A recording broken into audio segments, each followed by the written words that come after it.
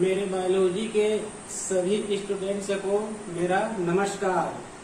आज हम लोग विशेष रूप से ये अध्ययन करेंगे कि अपना जो राज्य है, अर्थात जो छत्तीसगढ़ है, और अपना जो भारत है, उसमें मेडिकल कॉलेजों की संख्या कितनी है? मेडिकल सीटों की संख्या कितनी है? कितने मेडिकल कॉलेज गवर्नमेंट है? कितने मेडिकल कॉलेज प्राइवेट है? और गवर्नमेंट और प्राइवेट में सीटों की संख्या कितनी है? गवर्नमेंट और प्राइवेट में फ़ीस की संख्या कितनी है? मेडिकल में चयन कैसे होना है? अर्थात नीट क्रैक कैसे करना है? इसके बारे में आप मैं आप लोगों को विशेष रूप से बताने का प्रयास करूँगा। ठीक है जी? बायोलॉजी के जो भी स्टूडेंट्स हैं, यदि आप मन में एमबीबीएस एमडी एमएस अर्थात कहना चाहिए डॉक्टर बनने का जब लक्ष्य रखे हैं यदि आप डॉक्टर बनना चाहते हैं तो आप कम से कम नौवीं दसवीं से ही प्रारंभ कर दीजिए।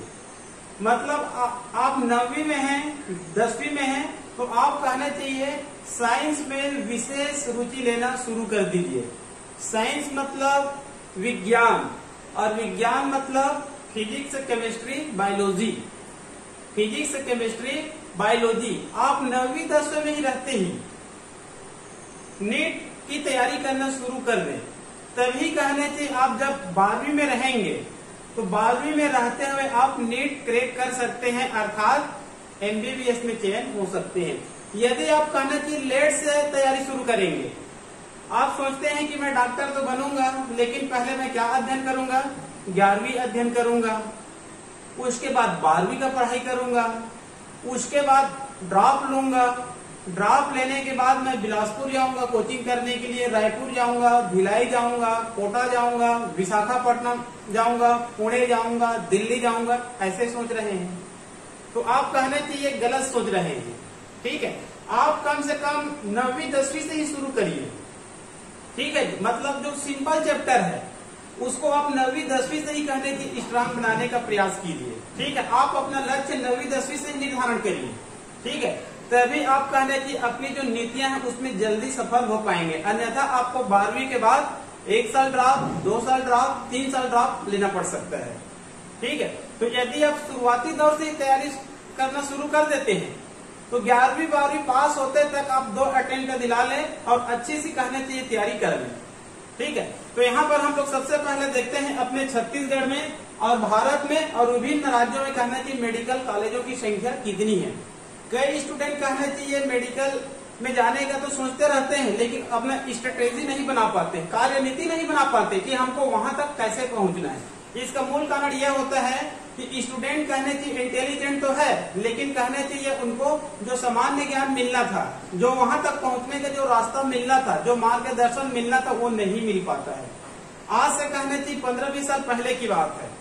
आज से कहने की जब हम लोग पूर्व में जाते हैं, बीस साल पहले जाते हैं तो लोग बाग कहने चाहिए जो हमारे उम्र वाले हैं, बारहवीं पास हो जाते थे, लेकिन पीएमटी नहीं जानते थे। उस समय पीएमटी चलता था। छत्तीसगढ़, मध्य प्रदेश में जो पीएमटी होता था एमपी पीएमटी राजस्थान में होता था राजस्थान पीएमटी ठीक है जी? उस समय कहने की अलग अलग राज्य के लिए अलग अलग एग्ज़ाम होता था। और एक सेंट्रल लेवल पर भी कहना चाहिए सीपीएमटी होता था। क्लियर तो उस समय कहना चाहिए, बहुत ही स्टूडेंट हैं जो इंटेलिजेंट होते हुए भी कहना की डॉक्टर इंजीनियर नहीं बन पाते थे, क्योंकि गाँव में पढ़ते थे। उस दौरान कहना की आज से 20 साल पहले न तो गाँव में पेपर मिलता था अर्थात अखबार नहीं मिलता था। कोई पढ़े लिखे स्टूडेंट नहीं थे। एक दो कहने की बड़ी मुश्किल से बारहवीं पास होते थे उस समय। ठीक है? न उस समय गूगल आया था, न व्हाट्सएप आया था, न यूट्यूब आया था, न ट्विटर आया था, कुछ भी नहीं था। मतलब आपको कहना चाहिए एक छोटा सा पत्रिका खरीदने के लिए आपको, आपके आसपास में कहने की जो भी शहर होते थे, वहाँ आपको जाना पड़ता था। या बस से जाते थे या फिर साइकिल चलाते हुए जाते थे। क्लियर तो उस समय मेडिकल कॉलेज की संख्या क्या है? सीटों की संख्या क्या है? फार्म कब भरा जाता है? फार्म कहाँ मिलता है? ये सब पता नहीं चलता था। ठीक है? तो आजकल कहने चाहिए गूगल के समय में इंटरनेट के समय में, घर सुविधा कहने चाहिए सुबह सुबह कहने चाहिए आपको जानकारी मिल जाती है कि व्हाट्सएप में ये जानकारी आया है, कि यूट्यूब में ये जानकारी आया है। ठीक है? मेडिकल कॉलेज की संख्या इतनी है, सीटों की संख्या इतनी है। क्लियर? तो यहाँ पर देखते हैं हमारे छत्तीसगढ़ में। हमारे छत्तीसगढ़ में कहना चाहिए मेडिकल कॉलेजों की संख्या कितनी है और सीटों की संख्या कितनी है? हमारे छत्तीसगढ़ में लगभग जो गवर्नमेंट मेडिकल कॉलेज है गवर्नमेंट मेडिकल के कॉलेज की संख्या लगभग नौ है। ठीक है? लेकिन यहाँ पर देखिए गवर्नमेंट मेडिकल यहाँ पर मैं गवर्नमेंट लिख दिया हूँ, शासकीय लिख दिया हूँ। तो यहाँ पर देखते हैं गवर्नमेंट मेडिकल कॉलेज अपना रायपुर में है, जो सबसे कहने की पुरानी मेडिकल कॉलेज है। ठीक है? उसके बाद बिलासपुर में है, उसके बाद जगदलपुर में है, और उसके बाद राजनांदगांव में है, और उसके बाद रायगढ़ में है, और उसके बाद अंबिकापुर में है। तो यहाँ पर गवर्नमेंट मेडिकल कॉलेज की संख्या वन से लेकर कितना हो गया? सिक्स हो गया। ठीक है? उसके बाद कहना चाहिए, इसी सत्र में 2021-22 में तीन मेडिकल कॉलेज की और स्वीकृति हुई है। वो कहना चाहिए, अपने जो कोरबा जिला है, और जो महासमुंद है, और ये कांकेर है। मतलब तीन मेडिकल कॉलेज और स्वीकृति हुई है। ये तीन मेडिकल कॉलेज कोरबा महासमुंद कांकेर में रहेंगे। इस प्रकार से कहना चाहिए गवर्नमेंट मेडिकल कॉलेज की संख्या कितनी हो जाती है? नौ हो जाती है। लेकिन दिक्कत यह है कि 2021-22 में केवल कहना चाहिए कोरबा में प्रवेश प्रक्रिया प्रारंभ हो सकती है। अर्थात महासमुंद और कांकेर में अभी दूर दूर तक संभावना नहीं है। तो इस प्रकार से हम लोग देखेंगे तो गवर्नमेंट मेडिकल कॉलेज की संख्या कितनी हो जाएगी अपने छत्तीसगढ़ में? सात हो जाएगी। क्योंकि कहने की महासमुंद और कांकेर यहाँ पर इस साल संभवतः प्रवेश नहीं होगा, क्योंकि तैयारी अभी नहीं है। क्लियर उसके बाद अपने छत्तीसगढ़ में कहना चाहिए तीन प्राइवेट कॉलेज है। ठीक है? एक कहने की दुर्ग में है, चंदूलाल चंद्राता नाम से है, और एक शंकराचार्य नाम से भिलाई में है, और एक रिम्स नाम से रायपुर में है। Raipur institute of medical science है। और ये चंदूलाल चंद्राकर और ये कहना चाहिए शंकराचार्य। तो टोटल कहना चाहिए मेडिकल कॉलेजों की संख्या कितनी हो जाएगी? गवर्नमेंट रहने को कहना चाहिए सात। सात में प्रवेश होगा, लेकिन टोटल संख्या कितना है? नौ है। और प्राइवेट मेडिकल कॉलेज की संख्या कितनी है? तीन है।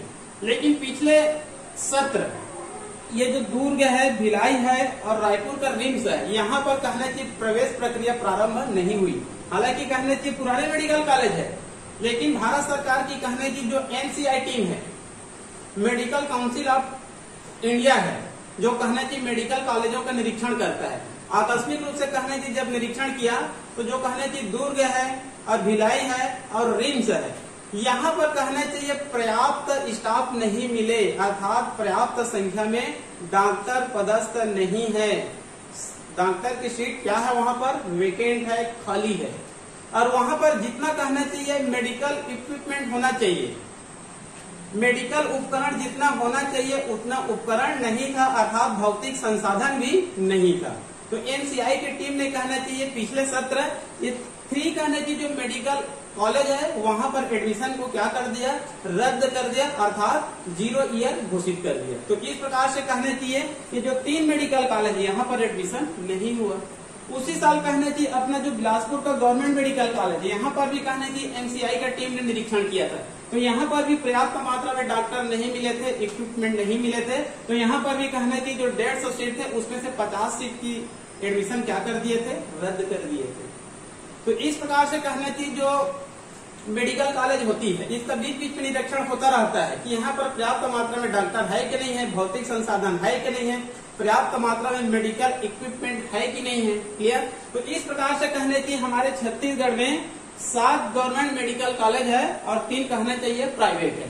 क्लियर अब उसके बाद कहना चाहिए, यहाँ पर छत्तीसगढ़ में माना जाता है टोटल सीटों की संख्या कितनी है? 770 है 2021 के अनुसार।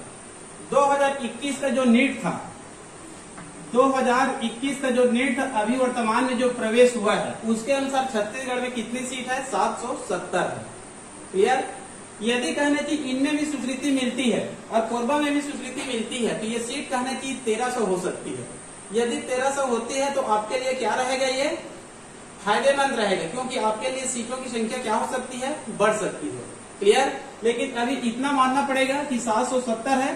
770 जो सीट है, उसमें कहना चाहिए जो नीट जब एग्ज़ाम लेता है, एग्ज़ाम लेने वाला नीट कहते हैं। जो एनटीए होता है, ये एग्ज़ाम लेने वाली संस्था है national testing agency national testing agency ये एग्ज़ाम लेने वाली क्या है? ये एजेंसी है। ये कहना है कि नीट नाम से एग्ज़ाम लेती है।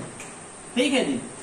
तो 2021 नीट के अनुसार 770 सीटों पर कहने की प्रवेश हुई थी। उनमें जो 770 होती है उनमें पचासी प्रतिशत सीट कहना चाहिए। राज्य स्तर पर भर्ती होती है। ठीक है? और जो 15 प्रतिशत होती है, वो ऑल इंडिया कोटा के आधार पर होती है। अर्थात कहने की 15 प्रतिशत सीटों पर एडमिशन कहाँ से होगा? नई दिल्ली से होगा। और पचासी प्रतिशत सीट कहाँ से एडमिशन होगा? अपने छत्तीसगढ़ गवर्नमेंट से होगा। इसी प्रकार से हर राज्य में रहेगा। ठीक है? आप यहाँ पर कोई भी उदाहरण ले सकते हैं। वहाँ पर टोटल कहना चाहिए मेडिकल कॉलेज की संख्या रहेंगे। और वहाँ पर टोटल सीट रहेंगे। उसमें से पचासी प्रतिशत सीटों पर एडमिशन उस राज्य से होगा और पंद्रह प्रतिशत सीटों पर ऑल इंडिया कोटा से होगा। ये पहले एडमिशन होता है। इनके हक दर कहना चाहिए सीजी है। क्लियर इसमें कहना चाहिए अन्य स्टेट से भी स्टूडेंट आ सकते हैं। क्लियर उसके बाद कहने चाहिए आपके पास जो पचासी प्रतिशत सीट तो है अब इसको कहना चाहिए प्रत्येक राज्य में भारत में, एक कहना चाहिए भारत में आरक्षण पद्धति चलता है। जिस राज्य में जितना आरक्षण होता है, उसके आधार पर सीटों की संख्या का क्या किया जाता है? वितरण किया जाता है। क्लियर? तो अपने राज्य में कहना चाहिए general category, SC category, ST category और ओबीसी कैटेगरी। तो कहना चाहिए जो पचासी प्रतिशत सीट है, एक राउंड फिगर में ले लेते हैं, पचासी प्रतिशत सीट मान लो कहना चाहिए छह सौ है। ठीक है? अब इस छह सौ को कहना चाहिए आरक्षण और इसको वितरण किया जाता है। जैसे कि एसटी है। एसटी को कहना चाहिए बत्तीस प्रतिशत आरक्षण है। इकतीस से बत्तीस। और जो कहना सॉरी ये जो कहना चाहिए जो एसटी है, इनको कहना चाहिए बत्तीस प्रतिशत आरक्षण है। और जो एससी कैटेगरी से है, उसको लगभग तेरह प्रतिशत आरक्षण दिया गया है। और जो ओबीसी वर्ग से है, उनको कहना चाहिए चौदह प्रतिशत आरक्षण दिया गया है। वर्तमान में कहना चाहिए पिछले साल भारतीय संसद में कहना चाहिए एक नया आरक्षण लागू हुआ है, जिसको कहा जाता है ई डब्ल्यू एस मतलब आर्थिक रूप से पिछड़े हुए जो सामान्य कैटेगरी के होते हैं, जो आर्थिक रूप से पिछड़े हुए होते हैं, उनको ईडब्ल्यू एस कहा जाता है। इकोनॉमिकली वीकर सेक्शन इनको भी कहना चाहिए 10 प्रतिशत आरक्षण दिया गया है। इसके बाद कहना चाहिए जो बची हुई सीट होती है, वो जनरल में चली जाती है। क्लियर इसके बाद कहना चाहिए, प्रत्येक वर्ग में 33 प्रतिशत, प्रत्येक वर्ग में 33 प्रतिशत महिला आरक्षण होती है। अर्थात, यहाँ पर जो 32 परसेंट सीट मिलेगा, उस 32 परसेंट में से कहना चाहिए 33 प्रतिशत महिला आरक्षण मिलेगा एसटी वर्ग से। एससी वर्ग के जो 13 प्रतिशत कहना चाहिए आरक्षण है, उस 13 प्रतिशत में से कहना चाहिए 33 प्रतिशत आरक्षण महिला को। और उसी प्रकार से ओबीसी के जो 14 है, इसमें कहना चाहिए 33 प्रतिशत महिला को आरक्षण मिलती है। और इसमें भी मिलेगा और इसमें भी मिलेगा। तो इस प्रकार से कहना चाहिए, सीटों की संख्या लास्ट में देखेंगे तो बहुत ही कम हो जाती है। अर्थात कहना चाहिए कंपटीशन बहुत ही ज़्यादा है। ठीक है? जो भी स्टूडेंट कहने चाहिए, केवल सपना देखेगा, मैं नीट क्रैक करूँगा, मैं एमबीबीएस करूँगा और वो पढ़ाई लिखाई करता नहीं है, मान लो, जितना तैयारी करना चाहिए, बारह घंटे, पंद्रह घंटे, उतना तैयारी करता नहीं है तो संभवतः कहना चाहिए, एडमिशन मिलना बहुत ही मुश्किल हो जाएगा। क्योंकि कहना चाहिए, वर्तमान दौर में एक से लेकर पढ़ने वाले ब्रिलियंट स्टूडेंट है इंटेलिजेंट स्टूडेंट है, उनके बीच कहना चाहिए, आपको कंपटीशन करना है। और ये देखा जाता है, कई बार जो बारहवीं में 95 लाते हैं 97 लाते हैं, नवोदय विद्यालय से, केंद्रीय विद्यालय से 95 प्लस में होते हैं। वो लोग भी कई बार कहना चाहिए नीट क्रैक नहीं कर सकते हैं। दो बार तीन बार ड्रॉप करते हैं लेकिन नीट क्रैक नहीं कर सकते हैं। क्लियर लेकिन कई बार ये भी देखा जाता है कई स्टूडेंट जो 65 प्लस होते हैं 60 प्लस होते हैं 70 प्लस होते हैं वो नीट क्रैक कर जाते हैं। जैसे कि यूपीएससी में होता है। यूपीएससी जो कहना चाहिए जो क्रैक करते हैं जो आईएएस, आईपीएस, आईआरएस, आईएफएस अन्य पोस्ट में जो जाते हैं। ये ज़रूरी नहीं है कि उनका बारहवीं में, दसवीं में बीएससी में उसका परसेंट 90 प्लस ही हो। ठीक है जी? बहुत कहना चाहिए जो स्टूडेंट्स हैं, जो 55 होते हैं, जो 60 होते हैं, बारहवीं में ग्रेजुएट लेवल पर, ये कहना चाहिए यूपीएससी क्रैक कर जाते हैं। इसका मतलब यह होता है कि आप बारहवीं के बाद यदि बारहवीं तक अच्छे से अध्ययन नहीं किए तो परसेंटेज कम आ गया, लेकिन बारहवीं बाद यदि आप तन, मन, धन लगाकर, या फिर तन, मन लगाकर यदि आप 15 घंटे 16 घंटे 12 घंटे 10 घंटे पढ़ाई करते हैं, और कहना चाहिए आप अपना लक्ष्य बना लेते हैं तो आप नीट क्रैक कर सकते हैं। ऐसा नहीं है कि आप नीट क्रैक नहीं कर सकते, ठीक है? आप ग्यारहवीं में रहते हुए एक बार नेट एग्ज़ाम दिलाइए। उसके बाद बारहवीं में रहते हुए नेट एग्ज़ाम दिलाइए। वहीं पर आपको कहना चाहिए अनुमान हो जाएगा कि मैं इसको क्या कर सकता हूँ? नीट क्रैक कर सकता हूँ, और मैं एमबीबीएस में चयन हो सकता हूँ। ठीक है जी? तो कहना चाहिए, आप विशेष रूप से कहना चाहिए, मन लगाकर अध्ययन कीजिए। आप इधर उधर कहना चाहिए, घूमने, फिरने, गूगल, व्हाट्सएप, यदि आप छोड़कर आप तैयारी करेंगे तो निश्चित आप नीट क्रैक कर सकते हैं। क्लियर मैं अपने विद्यालय के स्टूडेंट्स जो कहना चाहिए, हमारे, हमारा जो स्कूल है, एकलव्य मॉडल स्कूल ठीक है? पूरी भारत में कहना चाहिए E M R S Eklavya model residential school की संख्या वर्तमान में लगभग 750 हो जाएगा। भारत सरकार ने घोषणा किया है कि E M R S Eklavya model residential school लगभग 2022-23 तक कितनी हो जाएगी? 750 हो जाएँगे। अब इन सभी विद्यालयों में कहना चाहिए सीबीएसई कोर्स लागू होगा। अर्थात एनसीआरटी का बुक हमको अध्ययन करना पड़ेगा। क्लियर और विशेष बात यह है कि ई एम आर एस में 100 प्रतिशत ट्राइबल स्टूडेंट अध्ययन करते हैं। जो एसटी कैटेगरी से स्टूडेंट होते हैं, वो अध्ययन करते हैं। और जो एसटी कैटेगरी के स्टूडेंट होते हैं, उनके लिए फ़ायदेमंद किया है। विशेष रूप से हमारे छत्तीसगढ़ स्टेट में। हमारे छत्तीसगढ़ स्टेट में जो एसटी कहने की कैटेगरी है, उसको 31 या 32 प्रतिशत आरक्षण मिला हुआ है। क्लियर पिछले वर्ष की बात है हमारे छत्तीसगढ़ की। ठीक है? नीट में कहना चाहिए जो 720 अंक होते हैं। नीट में कहना चाहिए 720 अंक होते हैं। उसमें कट ऑफ़ मार्क तीन गए है।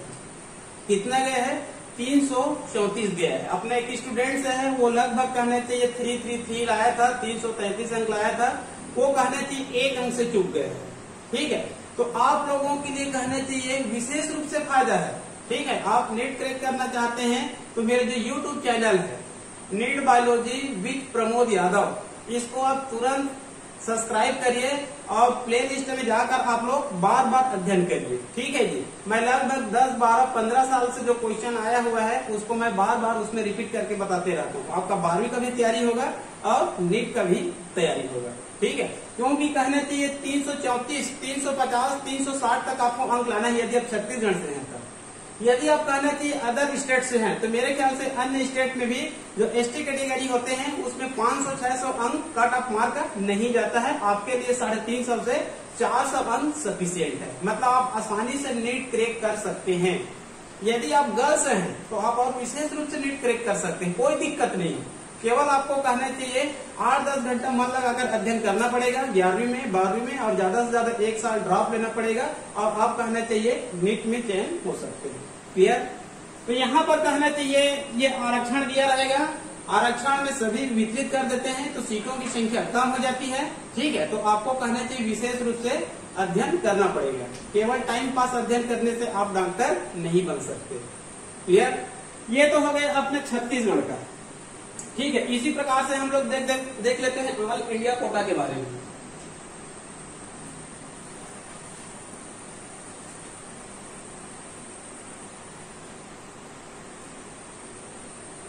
भारत में मेडिकल कॉलेजों की संख्या।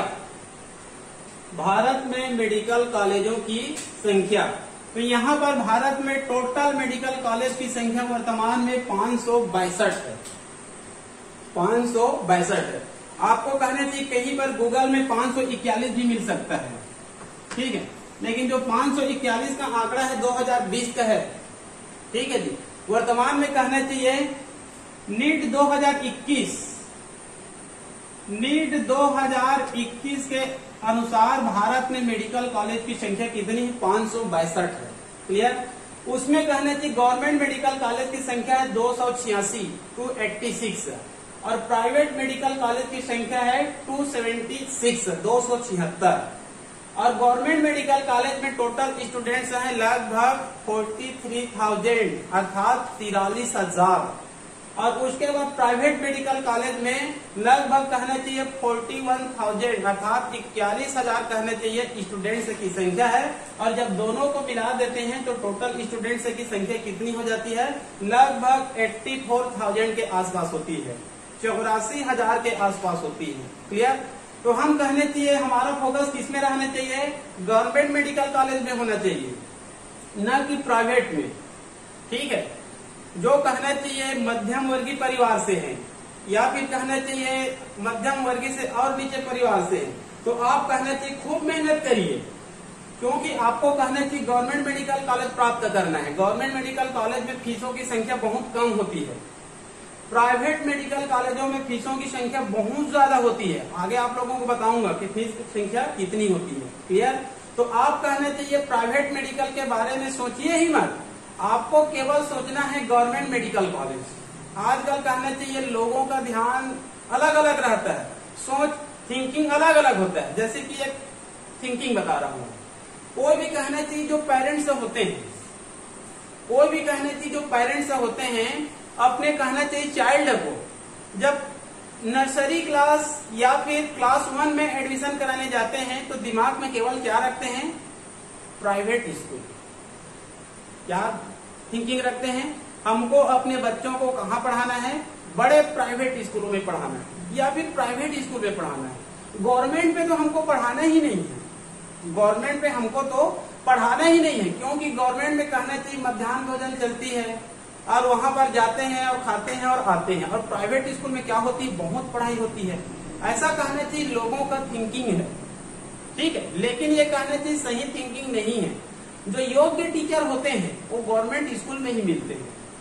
आप कहीं पर भी पता कर लीजिए, ठीक है? तो कहना चाहिए पेरेंट्स का सोच ये है कि पहली, दूसरी, तीसरी क्लास वन टू थ्री से ट्वेल्व तक हमको कहाँ पढ़ाना है? प्राइवेट स्कूल में ही पढ़ाना प्राइवेट स्कूल में ही पढ़ाना है। गवर्नमेंट में तो हमको ध्यान ही नहीं देना है।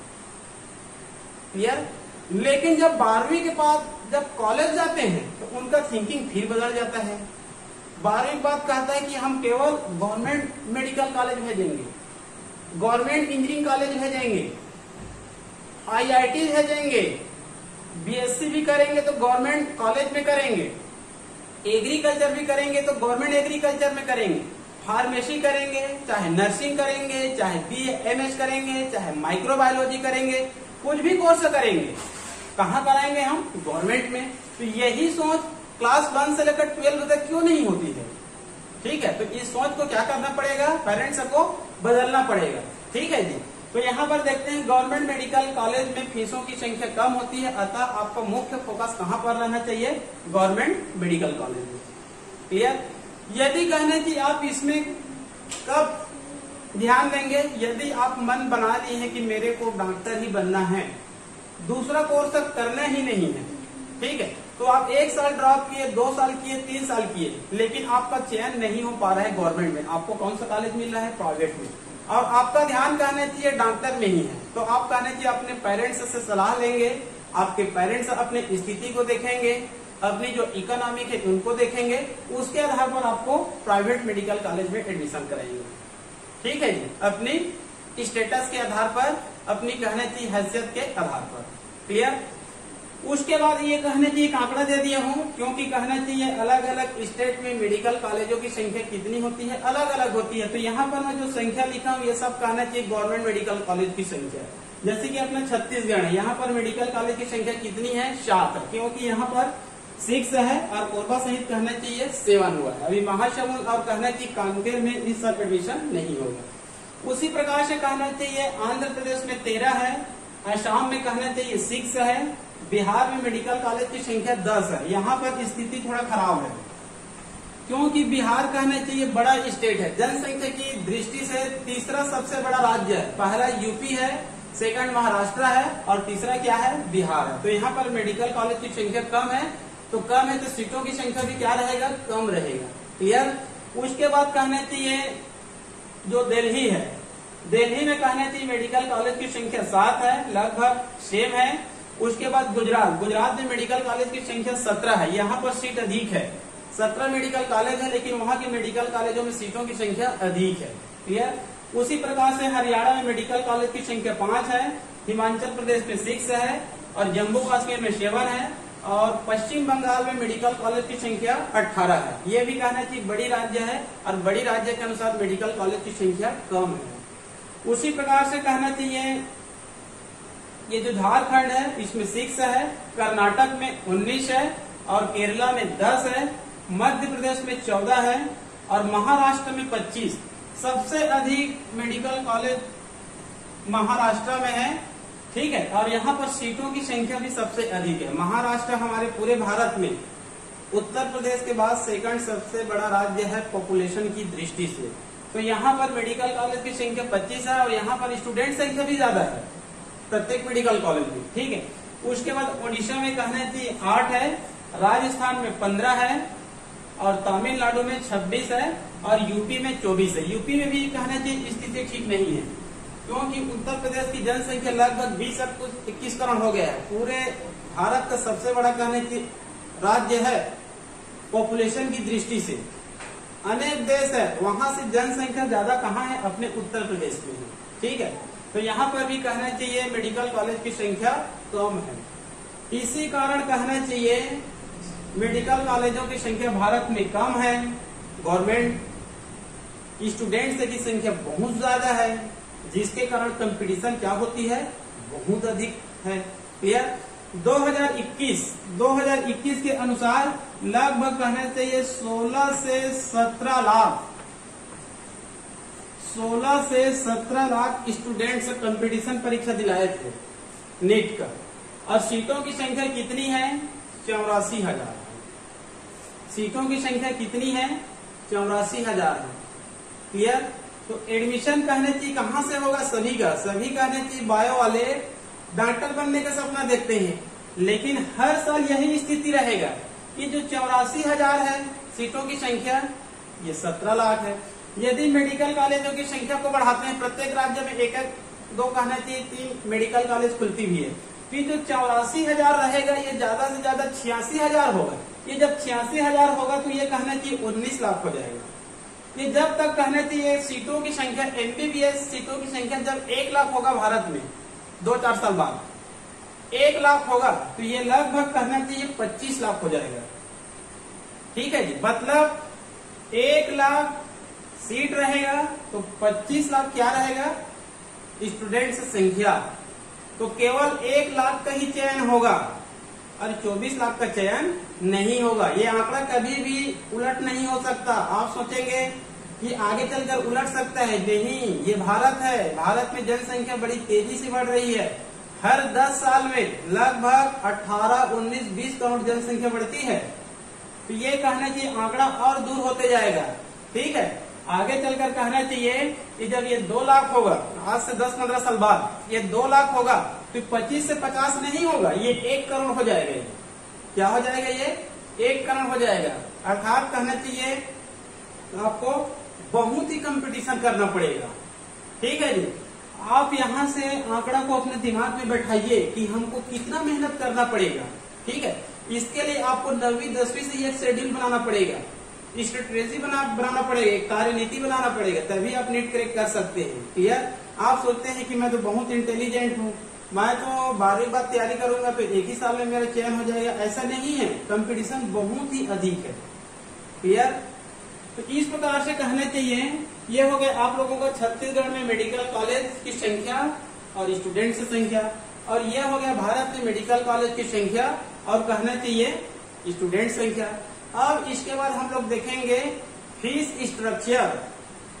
मतलब वहाँ पर मेडिकल कॉलेजों में फ़ीस कितना लगता है? क्लियर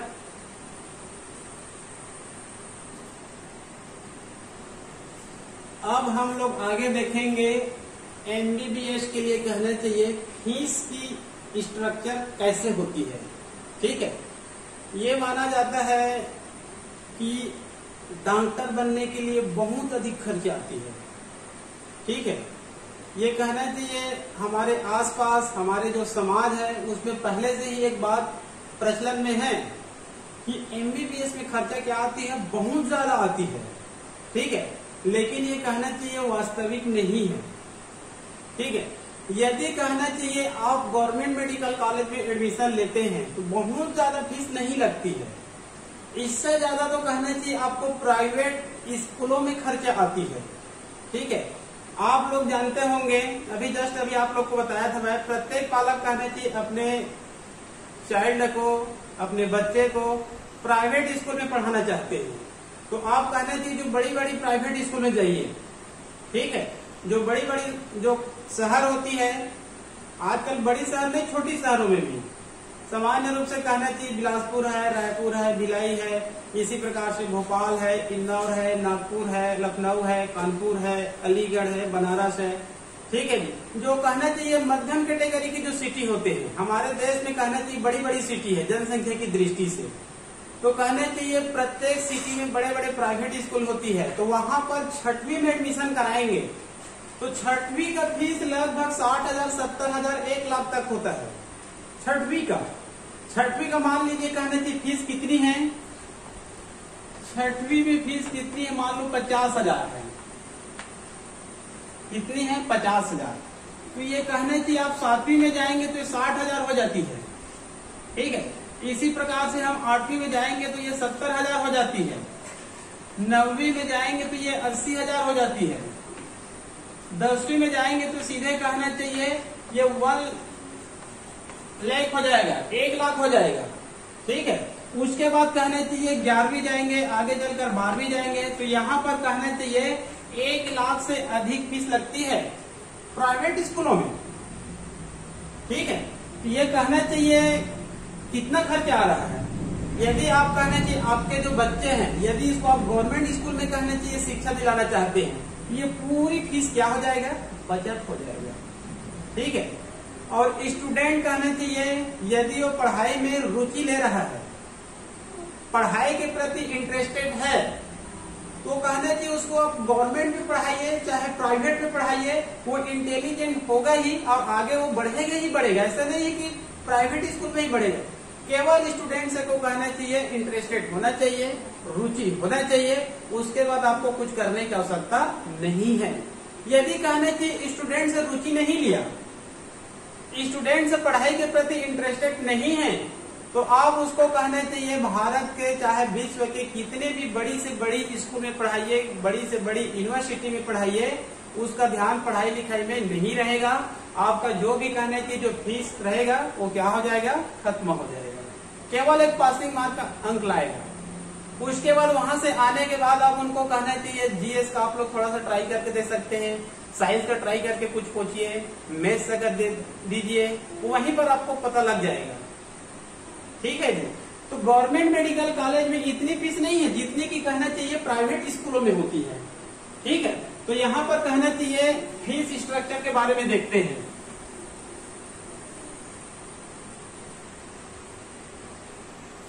यदि कहना चाहिए, फ़ीस स्ट्रक्चर देखेंगे तो अपने कहना चाहिए जो छत्तीसगढ़ है सीजी है और कहना चाहिए अन्य जो स्टेट है। ठीक है? या फिर कहना चाहिए अपने जो भारत है। ठीक है? तो गवर्नमेंट मेडिकल कॉलेज में जो फ़ीस होती है, लगभग एवरेज पचास हज़ार होती है प्रति ईयर कितनी होती है? पचास हज़ार प्रति ईयर तो ये बहुत ज़्यादा नहीं है। अभी आप लोगों को मैं एक उदाहरण दिया था। बारहवीं ग्यारहवीं पढ़ाएँगे। ठीक है जी? तो वहाँ पर कहना चाहिए प्राइवेट स्कूलों में स्कूली शिक्षा में कितना लगेगा? एक लाख फ़ीस लगेगा, फ़ीस ही है वो। क्लियर तो उसी प्रकार से गवर्नमेंट मेडिकल कॉलेज में यदि एडमिशन होता है तो एवरेज में पूरी छत्तीसगढ़ अदर स्टेट होते हुए पूरे ऑल इंडिया में लगभग फ़ीस कितना रहेगा? पचास हज़ार भी रहेगा। कई जगह तो अड़तीस हज़ार रहेगा, पैंतालीस हज़ार रहेगा। तो एक एवरेज दे देते हैं, पचास हज़ार फ़ीस रहेगा। क्लियर उसके बाद जैसे कि प्राइवेट मेडिकल कॉलेज में जाते हैं तो प्राइवेट मेडिकल कॉलेजों में फीसों की संख्या बहुत ज़्यादा होती है और यही कहने की मार्केट में हल्ला होती है कि डॉक्टर बनने के लिए 20-22 लाख रुपया चाहिए। क्लियर तो यहाँ पर देखिए, फीसों की संख्या दो लाख से लेकर बीस लाख तक होती है। दो लाख से लेकर बीस लाख तक होती है। इसको हम लोग दो लाख छोड़ सकते हैं। इसको पाँच लाख करिए, क्योंकि दो लाख का जमाना गया। क्योंकि अपना जो छत्तीसगढ़ है वहाँ पर भी कहना चाहिए, दुर्ग में एक मेडिकल कॉलेज है, चंदूलाल चंद्राकर, वहाँ भी दो साल पहले कहना चाहिए, चार लाख रुपया था प्रति ईयर। जो यहाँ पर प्रति ईयर जो पचास हज़ार लगता है ना, यहाँ पर कितना लगेगा? पाँच लाख लगेगा। ठीक है? और बड़ी बड़ी और प्राइवेट मेडिकल कॉलेज में जाएँगे दक्षिण भारत में तो फ़ीस कितना लग सकता है? बीस लाख लग सकता है। वन ईयर का। वन ईयर का बीस लाख।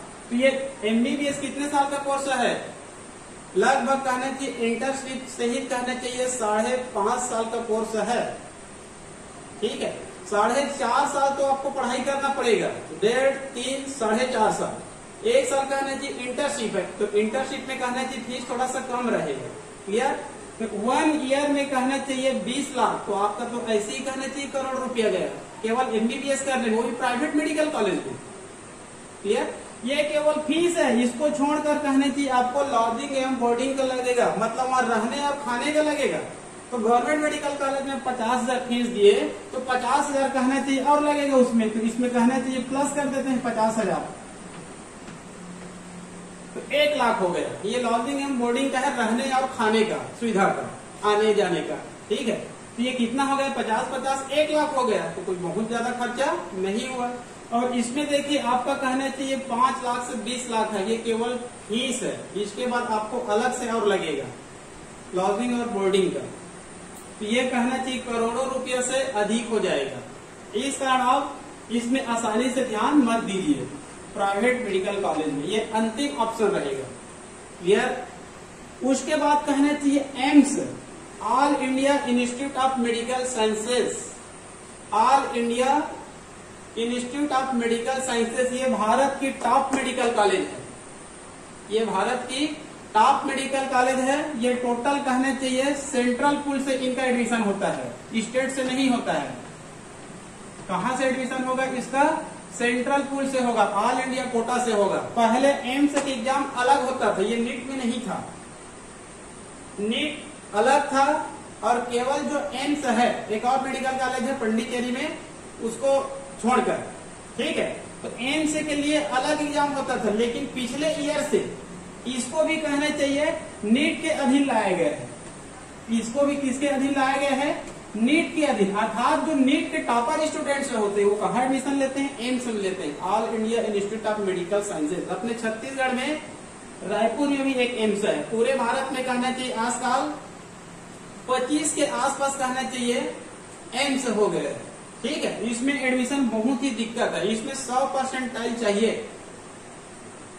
नीट का एग्ज़ाम कहना चाहिए कितने अंक का होता है? 720 अंक। का ठीक है तो इसमें कहना चाहिए 720 के आसपास जो अंक लाएगा 100 परसेंटाइल लाएगा, उन्हीं का कहा एडमिशन होगा? एम्स में एडमिशन होगा। ठीक है, और यहाँ पर फ़ीस नहीं के बराबर होती है, क्योंकि यहाँ पर कंपटीशन ही उतनी अधिक है। यहाँ फ़ीस कहना चाहिए दस हज़ार से पंद्रह हज़ार के बीच में है मात्र। और यहाँ पर प्रत्येक एम्स में कहना चाहिए हॉस्टल फैसिलिटी भी है। मतलब वहाँ पर भी बहुत कम खर्चा है। इसमें कई जगह कहना चाहिए हॉस्टल फैसिलिटी नहीं होता है तो आपको एक में पचास हज़ार लग सकता है। यहाँ पर ऑलरेडी कहना चाहिए हॉस्टल फैसिलिटी होती है न्यूनतम दर में। ठीक है? यहाँ टॉप स्टूडेंट एडमिशन लेते हैं। उसके बाद कहना चाहिए हमारे भारत में कुछ सेंट्रल यूनिवर्सिटी है। केंद्रीय विश्वविद्यालय है। इन केंद्रीय विश्वविद्यालय में भी कहना चाहिए, मेडिकल कॉलेज होती है। यहाँ पर भी फ़ीस थोड़ा सा कुछ कम होता है, ठीक है? जैसे कि सेंट्रल यूनिवर्सिटी के अंतर्गत B H U Banaras Hindu विश्वविद्यालय, बनारस हिंदू विश्वविद्यालय, उत्तर प्रदेश। अलीगढ़ मुस्लिम विश्वविद्यालय, Uttar Pradesh. J N U Jawaharlal Nehru university, Nai Delhi. और दिल्ली यूनिवर्सिटी के अंतर्गत जो मेडिकल कॉलेज आती है दिल्ली यूनिवर्सिटी के अंतर्गत जो मेडिकल कॉलेज आती है, उनको भी कहना चाहिए सेंट्रल यूनिवर्सिटी के अंतर्गत रखा जाता है। ठीक है? तो इसमें भी कहना चाहिए, फ़ीस क्या होती है? पंद्रह हज़ार से पचास हज़ार। आप बीएचयू का साइड देखेंगे 2021 का तो फ़ीस वहाँ पर कहना चाहिए पंद्रह हज़ार दी गई है। क्लियर उसके बाद कहना चाहिए, हमारे देश में कुछ डिम्स यूनिवर्सिटी है, ये बड़े बड़े कहना चाहिए प्राइवेट यूनिवर्सिटी है, जो कहना चाहिए डिम्स नाम से जानी जाती है। बड़ी एवं प्राइवेट यूनिवर्सिटी है, यहाँ पर भी कहना चाहिए मेडिकल कॉलेज चलते हैं। यहाँ पर फ़ीस बहुत ज़्यादा होती है। यहाँ पर कहना चाहिए दो लाख से बीस लाख तक होती है। जैसे यहाँ पर बताया था प्राइवेट में पाँच लाख से बीस लाख, उसी प्रकार से कहना चाहिए, यहाँ पर भी दो लाख से बीस लाख होती है। ये केवल फ़ीस है। इसमें लॉजिंग और बोर्डिंग आपका अलग लगेगा। मतलब इसमें करोड़ों रुपया लगेगा आपको। ठीक है? तो आप करोड़ों रुपया देने से बचिए, क्योंकि हमारे पास उतना पैसा ही नहीं है। तो मध्यम वर्गीय परिवार से है और उससे कम है। तो इससे आप कहना चाहिए, आप अपने पढ़ाई को लक्ष्य में रखिए। सिर्फ़ पर पढ़ाई करिए, सिर्फ़ पर पढ़ाई करिए, मोबाइल छोड़िए, गूगल छोड़िए, व्हाट्सएप छोड़िए, यूट्यूब छोड़िए। आप केवल फोकस किस पर रखिए? नीट पर रखिए, फिजिक्स पर रखिए, केमिस्ट्री पर रखिए, बायोलॉजी पर रखिए। यहाँ आप निशाना साधते रहिए, नौवीं, दसवीं, ग्यारहवीं, बारहवीं ड्रॉप लेकर। ठीक है? आप इतने पाँच साल तैयारी करेंगे तो आप कहना चाहिए इजी नीट क्रेक कर सकते हैं। ठीक है जी। तो ये हो गया आप लोगों का नीट की कहने चाहिए फ़ीस की संरचना। ठीक है जी। इसके बाद कहने चाहिए हम लोग कुछ अन्य जानकारी ग्रहण करते हैं।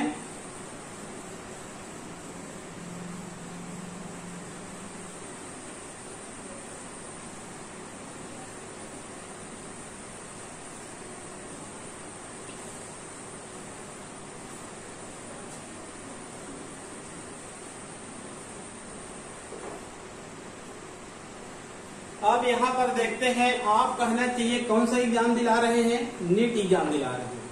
ठीक है जी। नीट एग्ज़ाम कहना चाहिए कितने अंकों की होती है? 720 अंकों की होती है। ठीक है। तो ये जो नीट है, केवल एमबीबीएस के लिए परीक्षा नहीं लेता है ये। केवल एमबीबीएस के लिए परीक्षा नहीं लेता है। ठीक है। जिस प्रकार से जो यूपीएससी एग्ज़ाम होता है, जिस प्रकार से कहना चाहिए यूपीएससी एग्ज़ाम होता है यूनियन पब्लिक सर्विस कमीशन संघ लोक सेवा आयोग, नई दिल्ली। ठीक है? ये कहना चाहिए तीन चरणों में परीक्षा लेती, प्री मेन इंटरव्यू। लास्ट में कहना चाहिए रैंकिंग बनती है। तो जिनका कहना चाहिए जो टॉप रैंक होते हैं, जिनका कहना चाहिए जो टॉप रैंक होते हैं, वो क्या बनते हैं? आईएएस बनते हैं। इंडियन एडमिनिस्ट्रेटिव सर्विस भारतीय प्रशासनिक सेवा जो जिला में कहना चाहिए जिला कलेक्टर के रूप में सेवा देते हैं, आगे चलकर सेक्रेटरी बनते हैं। ठीक है जी? स्पेशल सेक्रेटरी बनते हैं प्रिंसिपल सेक्रेटरी बनते हैं चीफ सेक्रेटरी बनते हैं। क्लियर उसके बाद जो कम रैंकिंग वाले होते हैं, वो आगे चलकर कहना चाहिए आईपीएस बनते हैं। इंडियन पुलिस सर्विस भारतीय पुलिस सेवा, ज़िले में कहना चाहिए एसपी के रूप में सेवा देते हैं। आगे चलकर कहना चाहिए ये आईजी भी बनते हैं। डीजीपी भी बनते हैं, ठीक है? उसके बाद कहना चाहिए और जो अन्य होते हैं I R S Indian revenue service या फिर I R S Indian railway service Indian postal service I F S Indian forest service one सेवा, सब ए ग्रेड का कहना चाहिए सर्विस है ये, ठीक है? इसमें लगभग कहना चाहिए अट्ठाईस उनतीस भाग इसमें भी होते हैं। क्लियर जो टॉप रैंकिंग वाले कहाँ पहुँच गए? आईएएस उससे नीचे वाले आईपीएस और नीचे वाले आईएफएस और नीचे वाले आईआरएस और नीचे वाले आईपीएस मान लो। ठीक है जी? उसी प्रकार से कह, ये इंडियन पोस्टल सर्विस है इसी प्रकार से कहना चाहिए और अन्य भी इसमें भाग होते हैं इनकम टैक्स में भी जाते हैं इसमें। ठीक है? उसी प्रकार से अपना जो नीट है ये केवल एमबीबीएस के लिए परीक्षा नहीं लेता है। ठीक है? इसमें क्या होता है, जो टॉप रैंकिंग वाले होते हैं, इसमें जो टॉप रैंकिंग वाले होते हैं, वो कहाँ प्रवेश लेते हैं? एमबीबीएस में लेते हैं। क्लियर अब जो स्टूडेंट कहने चाहिए टॉप रैंकिंग में नहीं आ पाया मतलब ज़्यादा रैंकिंग नहीं ला पाया तो जो अन्य नीचे वाले स्टूडेंट हैं, उनके लिए कुछ अन्य सुविधा भी दी गई है इस सुविधा को धीरे धीरे बढ़ाती जा रही है। ठीक है? इसके बाद कहना चाहिए बीडीएस होता है। B D S bachelor of dental ठीक है जी? मतलब डेंटल डॉक्टर कहते हैं। अधिकांश वाले तो इसमें चयन हो गए। अब जिसका इसमें चयन नहीं हुआ, वो किसमें चले जाएँगे? बीडीएस में चले जाएँगे। डेंटल डॉक्टर बनेंगे, दांतों का डॉक्टर बनेंगे। क्लियर उसी प्रकार से आगे चलकर कहना चाहिए BVSc bachelor of veterinary science bachelor of veterinary science. ये कहना चाहिए पशु चिकित्सक बनते हैं। ये कहना चाहिए चार वर्षीय कोर्स होता है। कितने वर्ष का कोर्स होता है? चार वर्षीय कोर्स होता है। अपने छत्तीसगढ़ में जो दुर्ग है, दुर्ग के पास एक अंजोरा है। वहाँ पर कहना चाहिए एक कहना चाहिए वेटनरी कॉलेज है, अंजोरा में। ठीक है? बीबीएससी चार वर्षीय कोर्स है। ये भी कहना चाहिए बहुत अच्छी कोर्स है। इनकी भी कहना चाहिए बहुत डिमांड है, क्योंकि ये प्राइवेट बीबीएससी नहीं है, अपने राज्य में केवल एक ही है। क्लियर इसके बाद कहना चाहिए आगे चलकर B A M S B A M S मतलब आप आयुर्वेदिक डॉक्टर भी बन सकते हैं। आगे चलकर कहने चाहिए जो बीएससी फिशरीज होते हैं। इसमें भी एडमिशन पा सकते हैं। ठीक है? और आगे चलकर और कुछ प्रायिकता में होती है, ठीक है? पीएटी का तो अलग एग्ज़ाम होता है। प्री एग्रीकल्चर टेस्ट का अलग एग्ज़ाम होता है। तो इस प्रकार से कहना चाहिए पहले प्रिफरेंस ये मिलेगा, फिर बीडीएस मिलेगा, फिर बीबीएससी मिलेगा, फिर बीएमएस मिलेगा, फिर बीएससी फिशरीज मिलेगा। क्लियर आजकल कहने चाहिए कुछ अन्य कोर्स भी है, वहाँ पर भी प्रवेश दिया जा सकता है। ठीक है जी? तो आप लोगों को मैं प्रारंभ में क्या बताया था? अपने छत्तीसगढ़ में सात सौ सत्तर सीट बताया था मान लो। इसमें से पचासी प्रतिशत सीट में स्टेट कोटा से एडमिशन होगा। ठीक है? तो इनकी संख्या और है इसको छोड़कर।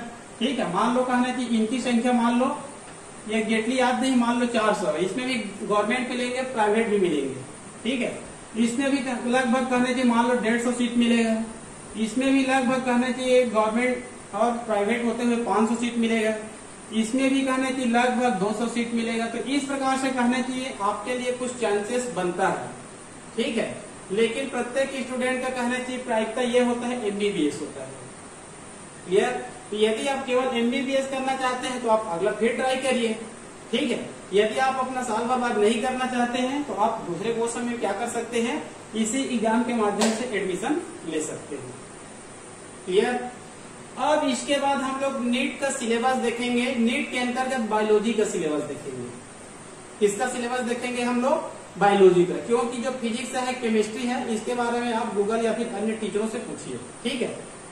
मैं यहाँ पर नीट बायोलॉजी का सिलेबस बताता हूँ। उसके आधार पर आप कैसे तैयारी करेंगे और कैसे अधिक से अधिक अंक लाएँगे, इसके बारे में थोड़ा चर्चा करते हैं।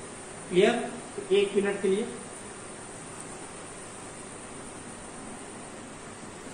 अब देखेंगे हम लोग नीट बायोलॉजी के अंतर्गत सिलेबस को। नीट बायोलॉजी के अंतर्गत सिलेबस देखेंगे। क्लियर? आप लोगों को पता होगा, जो नीट का एग्ज़ाम होता है, वो टोटल कहना चाहिए सात सौ बीस अंक का होता है। तो इसमें दो पेपर होते हैं। एक होता है फ़र्स्ट पेपर और एक होता है सेकंड पेपर। ठीक है जी? नीट बायोलॉजी में दो पेपर होते हैं। एक होता है फ़र्स्ट पेपर और एक होता है सेकंड पेपर। वर्तमान में कहने चाहिए जो फ़र्स्ट पेपर होती है, ये कहने चाहिए physics plus chemistry. Physics plus chemistry. अब जो सेकंड पेपर होते हैं, ये होते हैं botany plus zoology. Botany plus zoology botany मतलब वनस्पति विज्ञान और जूलॉजी मतलब जंतु विज्ञान, दोनों को मिलाकर कहते हैं बायोलॉजी तो इस प्रकार से हम लोग देखते हैं तो बायोलॉजी का वेटेज क्या है? ज़्यादा है. मतलब फिजिक्स केमिस्ट्री दोनों मिलकर जितना वेटेज मिलता है, उतना कहना चाहिए बायोलॉजी में आपको वेटेज मिलेगा. इसी कारण कहना चाहिए, आप यदि नीट क्रैक करना चाहते हैं तो आप ज़्यादा से ज़्यादा शुरू से ही बायोलॉजी पर फोकस करके रखिए. ठीक है? लेकिन वर्तमान दौर में कंपटीशन इतना बढ़ गया है कि आपको सभी को फोकस करना पड़ेगा, क्योंकि 600 अंक कट ऑफ़ मार्क हो रहा है। ओबीसी जनरल में 600 जनरल में क्लियर तो यहाँ पर देखते हैं, यह हो गया फ़र्स्ट पेपर और यह हो गया सेकंड पेपर जैसे कि यह हो गया आपका फ़र्स्ट पेपर और यह हो गया आपका सेकंड पेपर ठीक है? फ़र्स्ट पेपर फिजिक्स तो इसका कहना चाहिए 45 क्वेश्चन केमिस्ट्री इनका भी 45 क्वेश्चन तो टोटल क्वेश्चन कितना हो गया? 90 टोटल क्वेश्चन कितना हो गया? 90 उसके बाद है सेकंड पेपर यह हो गया बॉटनी इसका भी कहना चाहिए 45 क्वेश्चन और इसका भी 45 क्वेश्चन और टोटल हो गया 90 मतलब फ़र्स्ट पेपर में भी 90 और सेकंड पेपर में भी 90 ठीक है जी? तो टोटल क्वेश्चन कितना हो जाएगा? 180 टोटल क्वेश्चन कितना हो जाएगा? 180 तो यहाँ पर ये ध्यान रखेंगे, ये जो 90 क्वेश्चन है, कितना है? 90 क्वेश्चन और इसमें भी कितना है? 90 क्वेश्चन ठीक है? तो 90 एक क्वेश्चन में चार अंक होते हैं। एक क्वेश्चन में चार अंक होते हैं। ये हो जाएगा आपका गुणित चार। ये हो जाएगा आपका तीन सौ साठ। ये भी हो गया नब्बे। ये हो जाएगा गुणित चार। ये भी हो जाएगा तीन सौ साठ। ठीक है? मतलब आप फ़र्स्ट पेपर दिलाते हैं। ये फिजिक्स का पेपर हो गया पी एच वाई और ये केमिस्ट्री का हो गया सी एच ई और ये दोनों मिलाकर ये बायोलॉजी है। ठीक है? तो 45 और 45 90 क्वेश्चन सही बनाने पर एक में चार अंक मिलेंगे, या फिर चार अंक होते हैं तो टोटल कहने की तीन सौ साठ। ये भी 45 प्लस 45 तो यहाँ पर 90 और एक में चार अंक, ठीक है? तो टोटल कितना हो गया तीन सौ साठ। ठीक है? तो इन दोनों को हम लोग जोड़ देते हैं। तो टोटल अंक कितना हो जाता है? सात सौ बीस अंक। कितना हो जाएगा? सात सौ बीस अंक। क्लियर तो यदि कहने चाहिए आप यदि जनरल कैटेगरी की स्टूडेंट्स है ओबीसी कैटेगरी की स्टूडेंट्स है तो आप कहना चाहिए इस 720 में 600 अंक का टारगेट रखिए आप। कितना अंक टारगेट रखिए? 600 अंक। 600 से कम में आसानी से आपको एमबीबीएस नहीं मिलेगा। क्लियर यदि कहना चाहिए आप छत्तीसगढ़ से हैं एकलव्य मॉडल स्कूल में पढ़ते हैं मान लो, ट्राइबल स्टूडेंट्स हैं तो ट्राइबल स्कूल के बच्चों के लिए कहना चाहिए एक विशेष रूप से यहाँ पर वेटेज मिलता है, लाभ मिलता है। अपने छत्तीसगढ़ में कहना चाहिए जो एसटी कैटेगरी के स्टूडेंट्स हैं क्योंकि छत्तीसगढ़ कहना चाहिए एसटी बाहुल्य है लगभग कहना चाहिए पूरी जनसंख्या में 31-32 परसेंट क्या है? ट्राइबल जनसंख्या है। तो उतना ही क्या मिलती है? आरक्षण मिलती है। तो छत्तीसगढ़ में 31-32 प्रतिशत कहना चाहिए रिजर्वेशन है। तो रिजर्वेशन है 31-32 तो आपको 100 प्रतिशत में 32 प्रतिशत मिल रहा है। तो यहाँ पर सीटों की संख्या भी आपको ज़्यादा मिलेगा। और चूँकि कहना चाहिए थोड़ा सा यहाँ पर कंपटीशन कम है। ठीक है? तो पिछले साल के आधार पर 2021 के आधार पर यदि आप कहने चाहिए एसटी कैटेगरी में है और 350 अंक लाते हैं तो आप कहना चाहिए एमबीबीएस में चयन हो जाएँगे। गवर्नमेंट मेडिकल कॉलेज में चयन हो जाएँगे। क्योंकि पिछले साल लगभग 335 या 334 334 335 के आसपास कट ऑफ़ हुआ है। ठीक है? तो आप कहना चाहिए 350 से 360 अंक यदि लाते हैं तो आपका कहना चाहिए सीधे आप एमबीबीएस में एडमिशन होगा आपका। ठीक है? तो आप साढ़े तीन सौ से चार सौ के बीच में आप टारगेट रखिए। आप ये कोशिश करिए ये जो बायोलॉजी का अंक है 360 अंक है बायोलॉजी का अंक है 360 अंक है, इसमें आप कहना चाहिए लगभग ढाई सौ से तीन सौ के बीच आप टारगेट रखिए। ढाई सौ से तीन सौ के बीच टारगेट रखिए, क्योंकि जो प्रथम पेपर है फिजिक्स केमिस्ट्री में, वहाँ पर कई बार कहना चाहिए स्टूडेंट ज़्यादा अंक लाने के चक्कर में राइट राइट राइट गोल गोल करते हैं और कहना चाहिए माइनस मार्किंग में आ जाते हैं और टोटल नंबर कट जाता है। क्योंकि ये कहना चाहिए माइनस मार्किंग होती है। क्लियर तो यहाँ पर आप यदि कहने चाहिए आप ट्राइबल स्टूडेंट्स हैं और नीट में जाना चाहते हैं, ठीक है?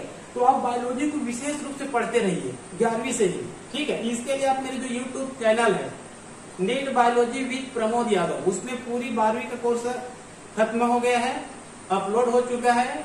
नीट लेवल का मैं उसमें पढ़ाया हूँ। उसमें तो मैं बहुत सारे कहने की जो टेस्ट लिया, उसका भी वीडियो बनाकर मैं अपलोड कर दिया वहाँ पर आपको विशेष रूप से मदद मिलेगा। ठीक है? अभी वर्तमान समय में कहना चाहिए अगला वीडियो मेरे ग्यारहवीं का बनेगा, क्योंकि कहना चाहिए ग्यारहवीं और बारहवीं ये देखा जाता है कोर्स हमें ग्यारहवीं का कोर्स ज़्यादा है और बारहवीं का कोर्स छोटा है। लेकिन परीक्षा में ये देखा गया है कि दोनों में लगभग जो नब्बे क्वेश्चन आता है, उसमें से 45 45 के रेशियो में दिया जाता है। न कि ग्यारहवीं से ज़्यादा, न कि बारहवीं से कम। भले सिलेबस ग्यारहवीं में ज़्यादा दिखता हो, लेकिन जो क्वेश्चन होता है, लगभग 45 45 के आसपास होता है। मतलब ग्यारहवीं के सिलेबस से 45 और बारहवीं के सिलेबस से 45 क्लियर और यदि आप ओबीसी है जनरल है तो आपका मेन फोकस छह सौ है। आप स्ट्रेटेजी आप बनाइए। कि कहाँ पर इसमें आप 320 लाना चाहते हैं 330 लाना चाहते हैं, और यहाँ कहाँ पर कहना चाहिए आप 300 लाना चाहते हैं। क्लियर ये आप दिमाग में बैठाइए, ये टारगेट में रखिए, और 20 साल का जो अनसालवर्ड है, जो सालवर्ड है मतलब पिछला जो क्वेश्चन उसका आप लोग विशेष रूप से अध्ययन करिए। क्लियर आप कहना चाहिए जैसे बारहवीं पहुँचते हैं, ग्यारहवीं पहुँचते हैं नेट का तैयारी करते हैं तो सबसे पहले आप सिलेबस को दिमाग में बैठाइए। इसी कारण मैं वर्तमान में बारहवीं का सिलेबस को एक अध्ययन करा रहा था। ठीक है जी, सबसे महत्वपूर्ण होता है सिलेबस पहले सिलेबस आपके दिमाग में बैठना चाहिए। तो ये कहने चाहिए बारहवीं का बायोलॉजी सॉरी नीट बायोलॉजी का क्या है ये? सिलेबस है ये। ठीक है? यहाँ पर देखिए लिविंग वर्ल्ड लिविंग वर्ल्ड सजीव जगत। क्या है ये? सजीव जगत लिविंग वर्ल्ड इसके अंतर्गत आप क्या अध्ययन करेंगे? इसके अंतर्गत किंगडम मोनेरा अध्ययन करेंगे मतलब बैक्टीरिया का अध्ययन करेंगे। वायरस का भी अध्ययन करेंगे, फंजाई का भी अध्ययन करेंगे। ठीक है जी, जो सूक्ष्म जीवी होते हैं, इन सब का यहाँ पर विशेष रूप से क्या करेंगे? अध्ययन करेंगे। किंगडम मोनेरा का अध्ययन करेंगे, बैक्टीरिया, वायरस, प्रोटिस्टा, फंजाई, इन सब का अध्ययन करेंगे। इसमें का क्वेश्चन थोड़ा सा टफ होता है। इसमें का क्वेश्चन थोड़ा सा टफ होता है। क्लियर उसके बाद है स्ट्रक्चर ऑफ़ या फिर structure organisation of plant and animal जो प्लांट होती है और एनिमल होती है, उनका कहना चाहिए स्ट्रक्चरल ऑर्गेनाइजेशन देखेंगे। ठीक है? मतलब संरचनात्मक संगठन का अध्ययन करेंगे। क्लियर यहाँ पर विशेष रूप से कहना चाहिए जो प्लांट टिश्यू होती है एनिमल टिश्यू होती है, हमारा शरीर, पौधों का शरीर सेलों से बना हुआ है। सेल आगे चलकर कहना चाहिए टिश्यू का निर्माण करता है। तो हमारे शरीर में विभिन्न प्रकार की क्या पाई जाती है? एनिमल टिश्यू और पौधों में क्या पाई जाती है? प्लांट टिश्यू उन सब का अध्ययन करना है। क्लियर उसके बाद है सेल बायोलॉजी उसके बाद है सेल बायोलॉजी इसको साइटोलॉजी भी कहा जाता है, कोशिका का अध्ययन। तो इसके अंतर्गत आपको टोटल किसका अध्ययन करना है? सेल का अध्ययन करना है। सेल कैसे होता है? दिमाग में बैठाइए। उसके सेंट्रल भाग में क्या होता है? न्यूक्लियस होता है। न्यूक्लियस के अंदर में क्या होता है? क्रोमोसोम होता है। क्रोमोसोम के अंदर में क्या होता है? डीएनए होता है। डीएनए के अंदर में क्या होता है? जीन होता है। क्लियर केंद्र के अंदर आरएनए भी होती है। केंद्र के बाहर भी आरएनए होती है। जो डीएनए कहना चाहिए क्रोमोसोम में भी पाई जाती है और केंद्र के बाहर भी पाई जाती है। माइटोकॉन्ड्रिया में पाई जाती है, क्लोरोप्लास्ट में पाई जाती है, प्लास्टिक में पाई जाती है। ठीक है? तो इसमें कहना चाहिए आपको सेल का अध्ययन करना है, केंद्र का अध्ययन करना है, डीएनए का अध्ययन करना है, क्रोमोसोम का अध्ययन करना है, जीन का अध्ययन करना है, माइटोकॉन्ड्रिया का करना है, एंडोप्लाज्मिक रेटिकुलम का करना है ठीक है जी, रफ और स्मूथ एंडोप्लाज्मिक रेटिकुलम दोनों का अध्ययन करना है राइबोसोम का अध्ययन करना है लाइसोसोम का अध्ययन करना है सेंट्रोसोम का अध्ययन करना है साइटोप्लाज्मा का अध्ययन करना है प्रोटोप्लाज्मा का अध्ययन करना है सेल वाल का अध्ययन करना है, ये किससे बनी होती है, उसका अध्ययन करना है, ठीक है?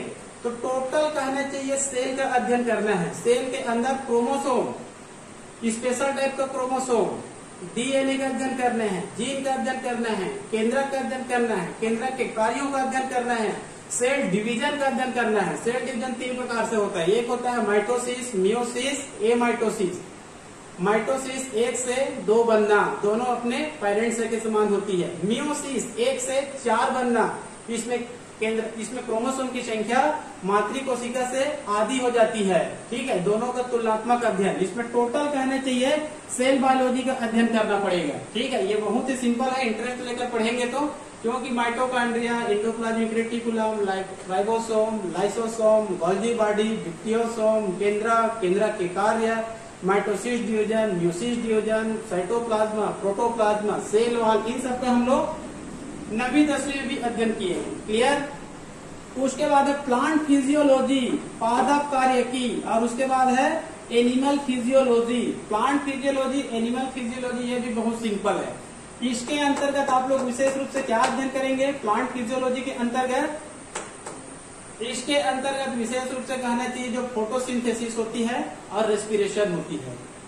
प्रकाश संश्लेषण होती है और श्वसन होती है और जो कहना चाहिए मिनरल्स होती है, खनिज तत्व होती है, इनका विशेष रूप से अध्ययन करता है क्लियर इसी के अंतर्गत कहना चाहिए प्लांट ग्रोथ पादप वृद्धि का भी अध्ययन करना है प्लांट मोमेंट इसका भी अध्ययन करना है, ठीक है? इसके अंतर्गत विशेष रूप से प्रकाश संश्लेषण है, शोषण है, पादप वृद्धि है, पादप गति है मिनरल्स है सेकेंडरी ग्रोथ है मतलब पौधों में वृद्धि कैसे होती है, इन सब का अध्ययन करना है क्लियर एनिमल फिजियोलॉजी ये तो अपने शरीर से रिलेटेड है और ये बहुत ही इंटरेस्टिंग है, ठीक है? इसके अंतर्गत सभी तंत्र का अध्ययन करना है। इंटरेस्ट लेकर पढ़ेंगे ये कहना चाहिए खूब इंटरेस्टिंग सब्जेक्ट है ये ये टॉपिक है, ठीक है?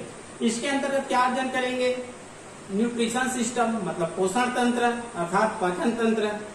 उसके बाद कहना चाहिए शोषण तंत्र ब्लड सर्कुलेटरी सिस्टम उत्सर्जन तंत्र, अर्थात excretory system nervous system endocrine system skeletal system skin system ये सब अध्ययन करेंगे। मतलब हमारे शरीर में पाए जाने वाले तंत्र का। पाचन तंत्र मतलब पाचन क्रिया का।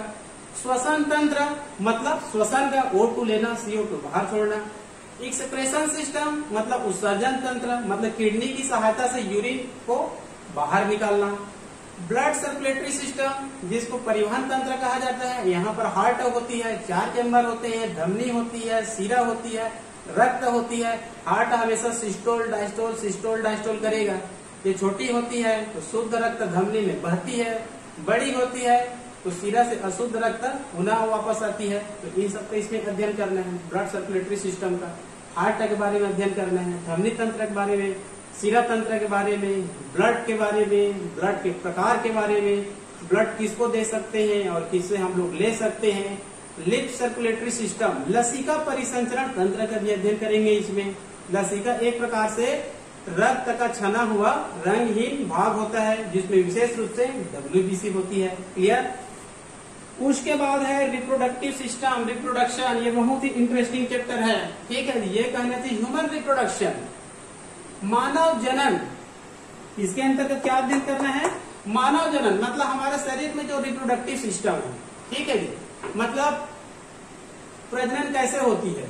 ए सेक्सुअल मानव में एक सेक्सुअल होती नहीं है। सेक्सुअल होती है सेक्सुअल रिप्रोडक्शन मतलब दो जीवों के बीच होती है। नर के अंतर्गत, नर जनन तंत्र का अध्ययन करेंगे। मादा के अंतर्गत, मादा जनन तंत्र का अध्ययन करेंगे। नर जनन तंत्र का अध्ययन करेंगे तो एक जोड़ी टेस्टिस होती है। एक जोड़ी टेस्टिस होती है। एक जोड़ी ईपीडी डायमिस होती है, vas deferens vas deferens seminal vesicle prostate gland Cowper gland penis इन सब का अध्ययन करना है। मादा जनन तंत्र फीमेल में, एक जोड़ी ओवरी एक जोड़ी वही डक्ट एक यूटेरस सर्विक्स वेजाइना इन सब का अध्ययन करना है। उसके बाद कहना चाहिए फीमेल में कहना चाहिए, जो मेंस्ट्रुएशन साइकिल होती है, उसका अध्ययन करना है। फीमेल में कहना चाहिए, जो ब्रिस्ट होती है मेमोरी ग्लैंड होती है, उसका अध्ययन करना है।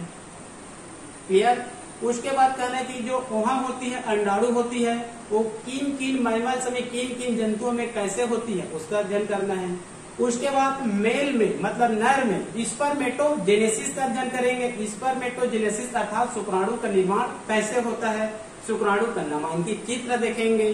फीमेल में कहना चाहिए। ऊजेनेसिस का अध्ययन करेंगे, अर्थात अंडाणु जनन का अध्ययन करेंगे। अंडाणु कैसे बनती है? अंडाणु की चित्र कैसे होती है? दोनों में फर्टिलाइजेशन कैसे होती है?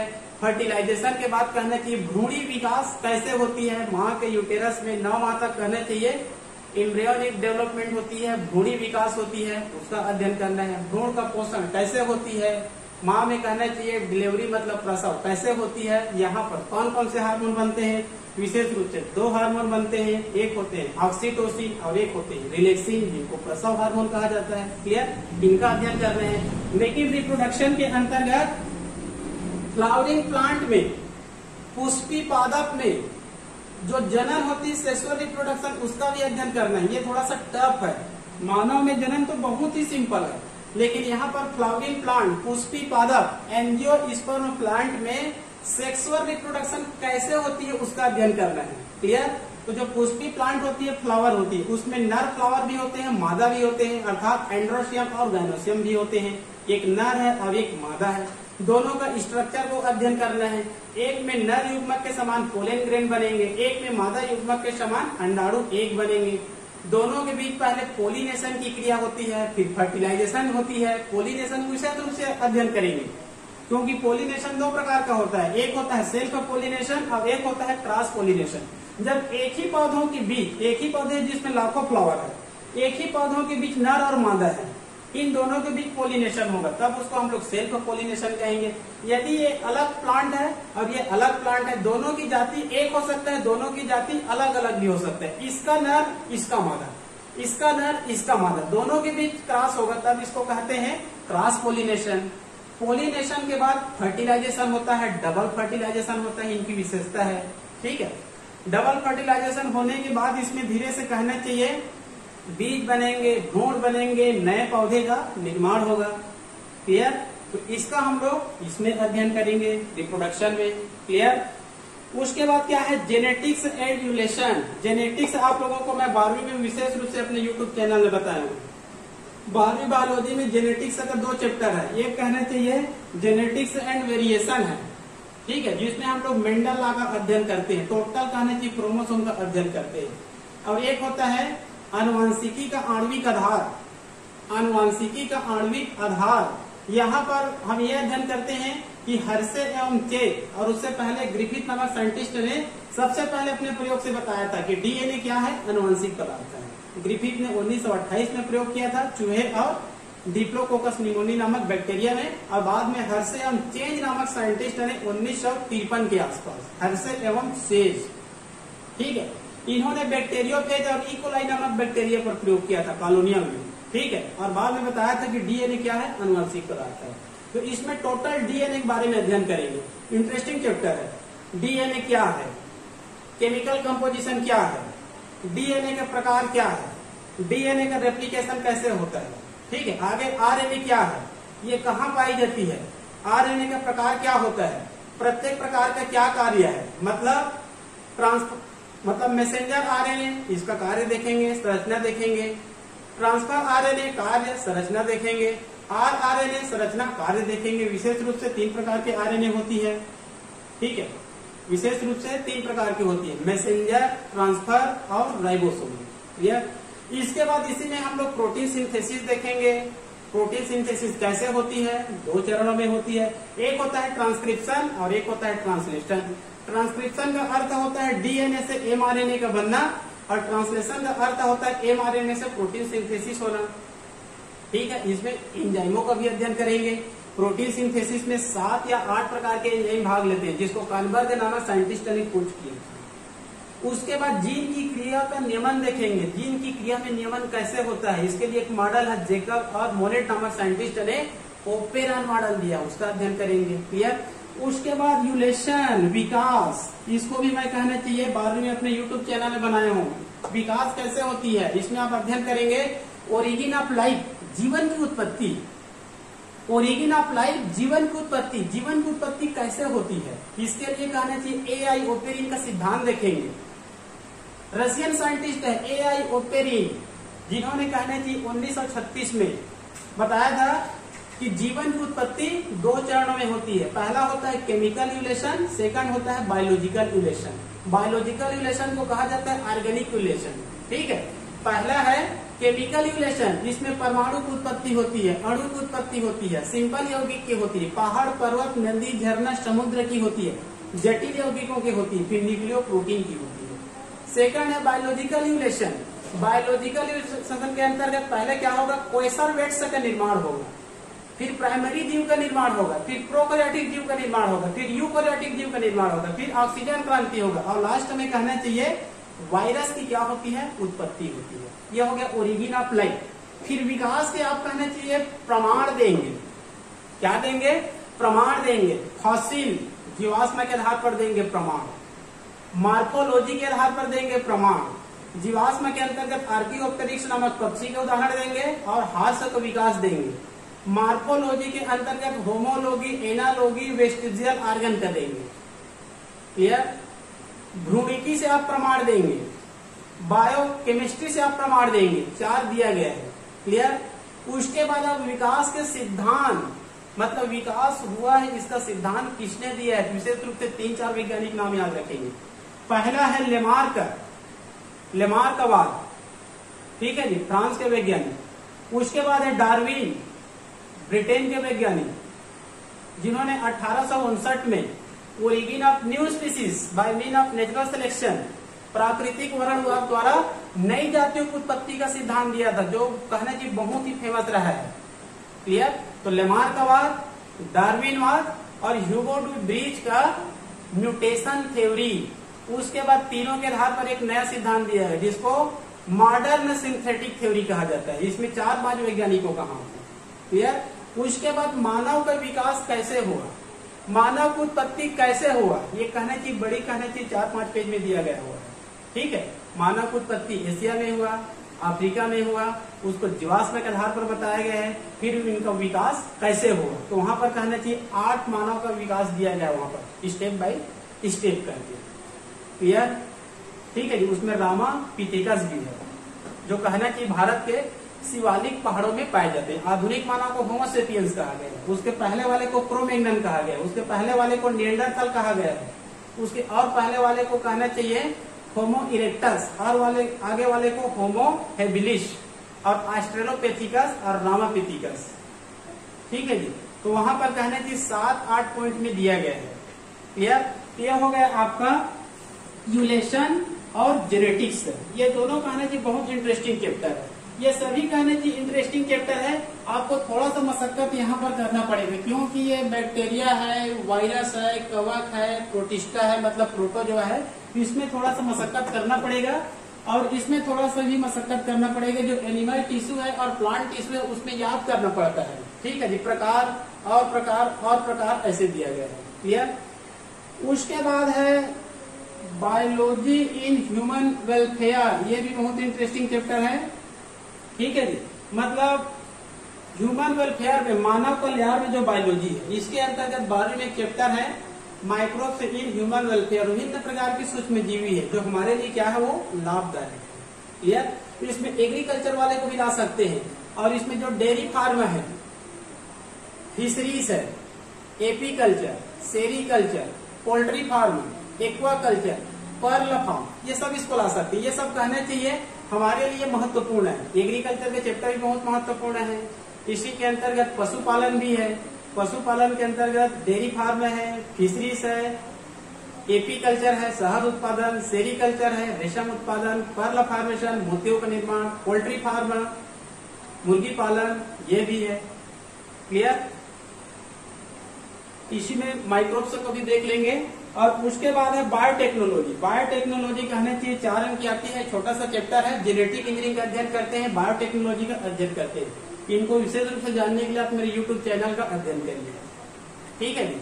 बायोटेक्नोलॉजी जीनों में काट छाट करना, जीनों में हेरा फेरी करना, रोगजनक जीन, हानिकारक जीन को बाहर निकाल देना, अच्छे जीन को प्रविष्ट करा देना, कुल मिलाकर एक अच्छे गुण वाले डीएनए को प्राप्त करना क्या कहलाता है?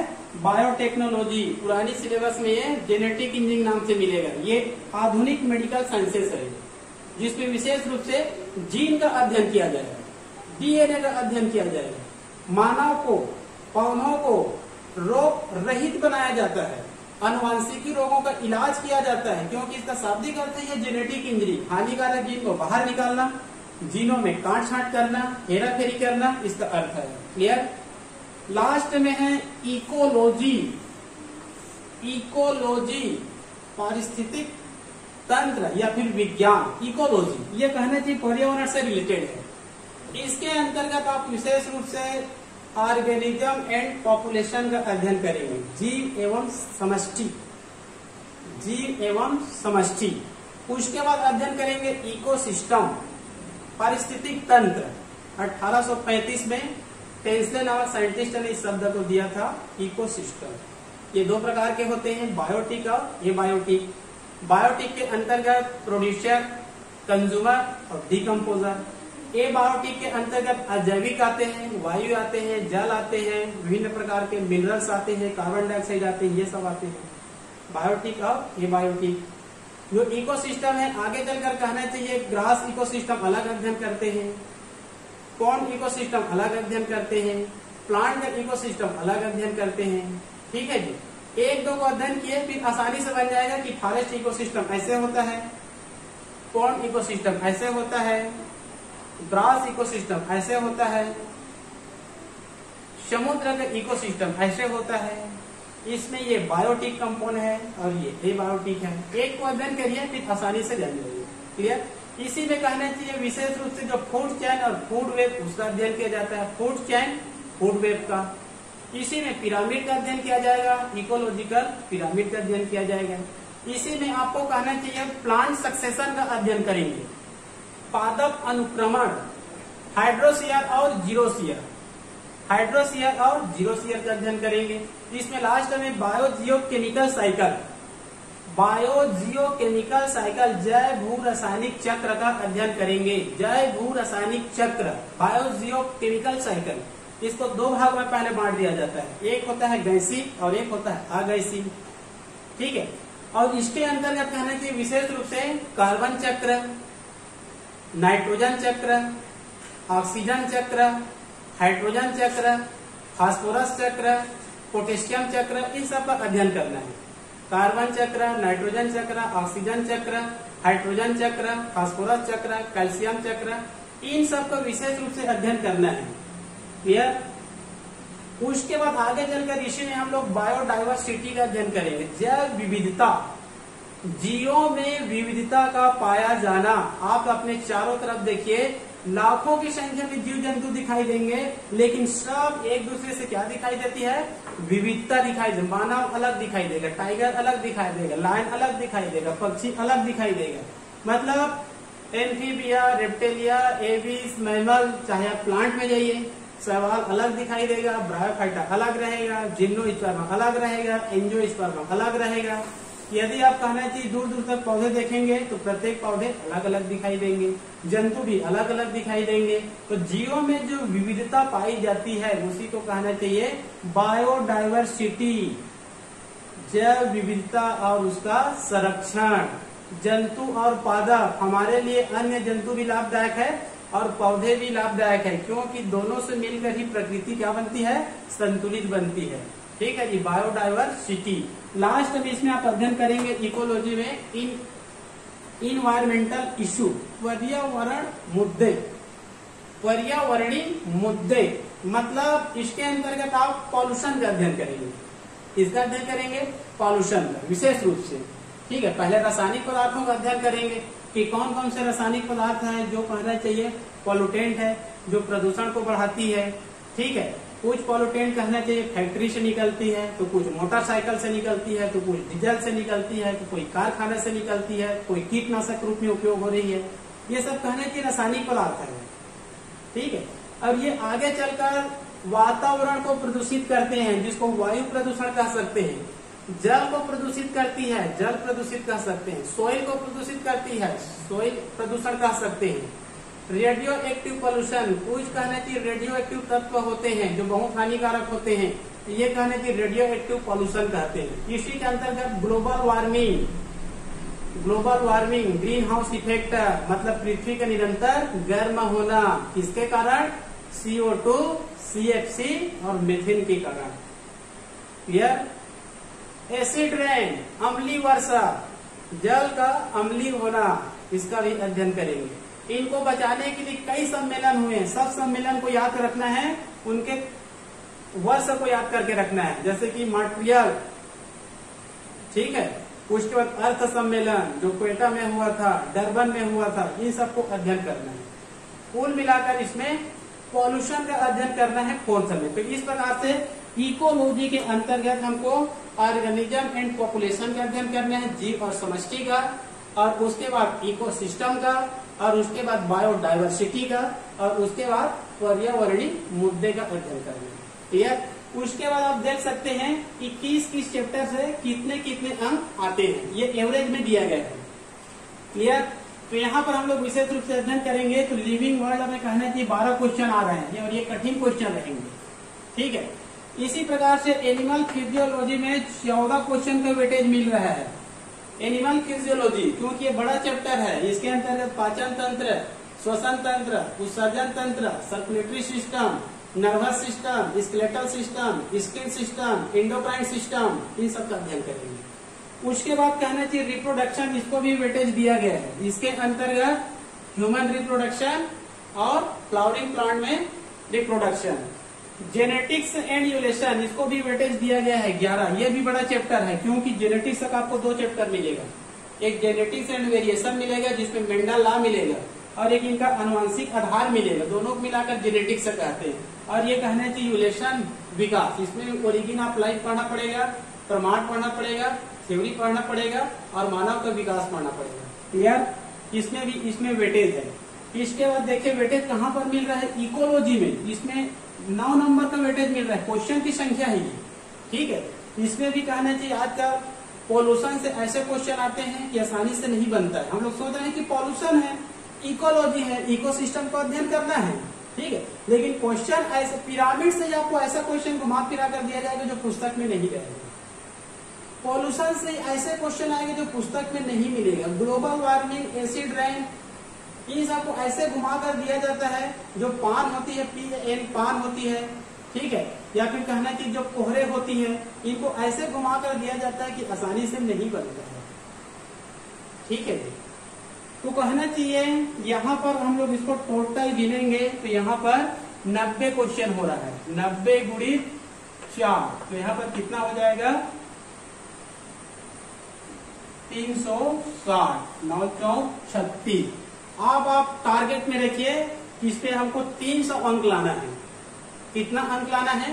तीन सौ अंक लाना है। क्लियर तब कहना चाहिए, हमको वेटेज मिलेगा। ठीक है जी? तो ये हो गया आप लोगों को संपूर्ण नीट एग्ज़ाम की जानकारी। छत्तीसगढ़ में मेडिकल कॉलेज की संख्या सीटों की संख्या, भारत में मेडिकल कॉलेजों की संख्या सीटों की संख्या फ़ीस कितनी होती है? कहाँ पर अधिक फ़ीस है? कहाँ पर कम फ़ीस है? ठीक है? यदि एमबीबीएस में चयन नहीं होता है तो हम बीडीएस में जा सकते हैं बीबीएससी में जा सकते हैं डेंटल में जा सकते हैं आयुर्वेदिक कॉलेज में जा सकते हैं फिशरीज में जा सकते हैं नर्सिंग में जा सकते हैं, आजकल नर्सिंग में भी यहीं से होने वाला है। क्लियर उसके बाद ये टोटल हो गया नीट बायोलॉजी का सिलेबस ठीक है जी? ये मोटी तौर पर कहने की आपको पूरी सिलेबस को मैं हिस्ट्री बता दिया हूँ कि किसमें किसका अध्ययन करना है। यदि आप कहना चाहिए इसको ग्यारहवीं में ही आप मेरे वीडियो को देख लिए और आपके दिमाग में बैठ गया कि मेरे को क्या बनना है, डॉक्टर बनना है तो आपको डॉक्टर बनने से कोई नहीं रोक सकता। क्लियर? क्योंकि ये कब की बात है? जब आप दसवीं ग्यारहवीं में ठीक है जी? और उसके बाद आप मेरे जो चैनल है, NEET biology with Pramod Yadav, उसको आप सब्सक्राइब करिए। आप चाहिए कि इसमें से आप क्या जानना चाहते हैं, किस चैप्टर को पढ़ना चाहते हैं, मैं वीडियो बनाने का प्रयास करूँगा। ठीक है जी? मेरे जो स्टूडेंट्स हैं, चाहे मेरे यूट्यूब के स्टूडेंट्स हो, चाहे मेरे स्वयं के कहने के स्कूल के स्टूडेंट्स हो, आप विशेष रूप से मेहनत करिए। ठीक है? आप तैयारी करते रहिए। आप, हम मिलकर आपको एमबीबीएस में एडमिशन कराने का प्रयास करेंगे। केवल किसके दम पर, मेहनत के दम पर, अपने पढ़ाई के दम पर। आप कहने की इंटरेस्ट लीजिए। यदि आपके मन में इंटरेस्ट उत्पन्न हुआ तो आप 12 घंटा 15 घंटा पढ़ेंगे। आपके घर वाले भी बोलेंगे कि आजकल बहुत पढ़ता है। इनको खाने का टाइम नहीं है, इनको सोने का टाइम नहीं है। लोग बात हंसेंगे भी आपको ये नीट का तैयारी कर रहा है। बड़े बड़े आए नीट का तैयारी करने वाले। भिलाई गए थे, दिल्ली गए थे, कोटा गए थे। अमुक कोचिंग सेंटर गए थे, दो साल तैयारी किया, तीन साल तैयारी किया, पाँच लाख खर्चा किया, छह लाख खर्चा किया। ऐसे कहने चाहिए आपको सुनने नहीं मिलेगी। लेकिन आप कहने चाहिए इग्नोर करिए और अपने ध्यान लगाकर पढ़ते रहिए, आपको एक दिन ज़रूर सफलता मिलेगी। ठीक है जी तो आज के लिए केवल इतना ही। आपको मेरा आज का कहना चाहिए कैसा लगा। आप क्या जानकारी चाहते हैं, उसके बारे में आप YouTube चैनल के नीचे में, आप कमेंट बॉक्स में लिखिए, मैं आपको उत्तर देने का प्रयास करूँगा। तो आज के लिए केवल इतना ही। ओके।